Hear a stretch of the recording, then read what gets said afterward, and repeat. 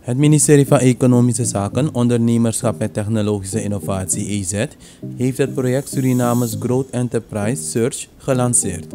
Dit project zal niet alleen een boost geven aan het algemeen bedrijfsleven, maar in het bijzonder ook aan vrouwelijke ondernemerschap.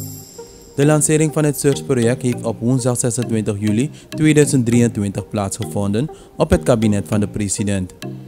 Susan Bansropansing, de coördinator van de afdeling Competitiveness Unit Suriname KUS, tevens Component Coordinator, heeft de aanwezigen als volgt toegesproken. In het regeerakkoord van de regering Santoki is opgenomen dat de overheid zich volledig zal inzetten om het vertrouwen van de bevolking in een goede en stabiele toekomst vertalen en te werken naar een inclusieve en rechtvaardige samenleving waarin ieder meer welzijn en welvaart kent.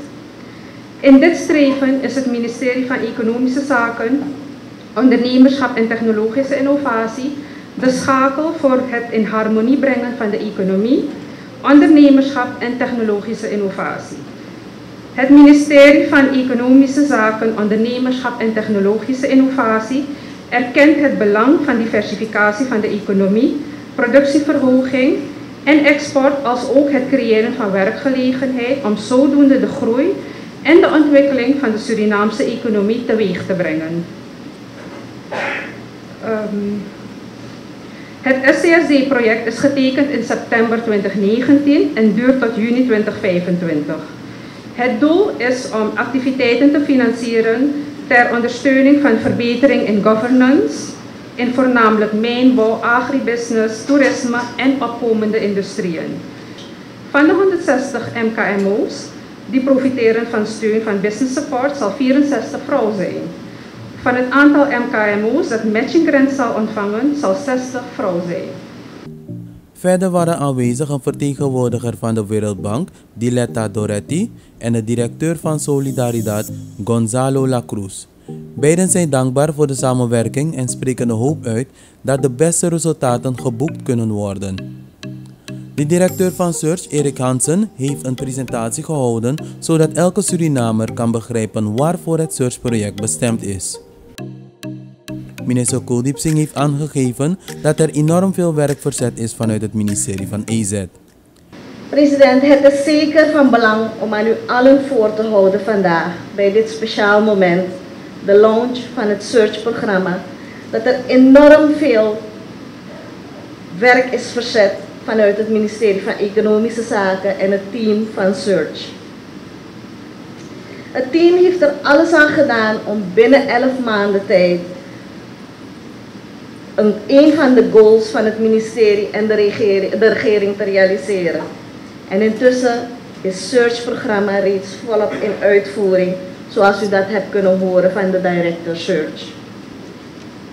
Bedrijven worden ondersteund bij het realiseren van hun plannen richting kopers, verhoging van de productiviteit en het zoeken en vinden van exportmarkten volgens de buyer-led approach.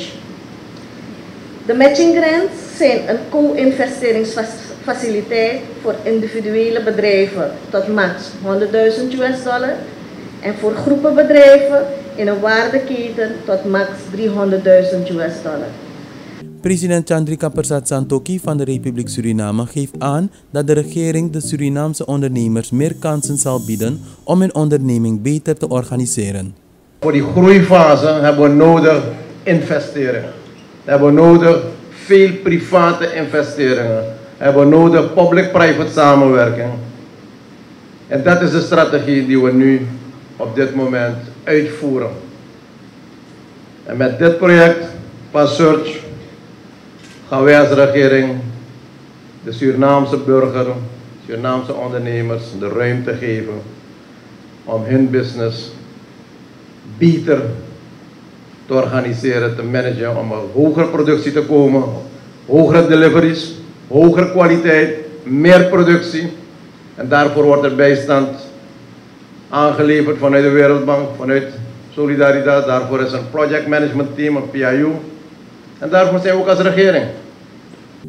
Middels een klik op de computer heeft het staatshoofd het Search-project gelanceerd.